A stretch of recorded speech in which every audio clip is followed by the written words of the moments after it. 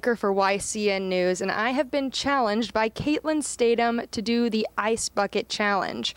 So, first, I'm going to have my friend dump a bucket of ice water on me, then I'm going to donate to the ALSA Foundation. And go to alsa.org for more information to donate.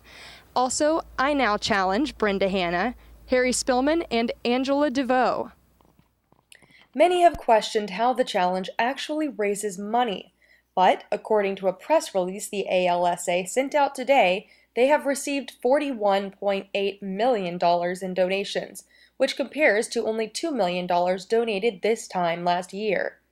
What's important is participants not only donate to the ALS Association, but they raise awareness for the disease.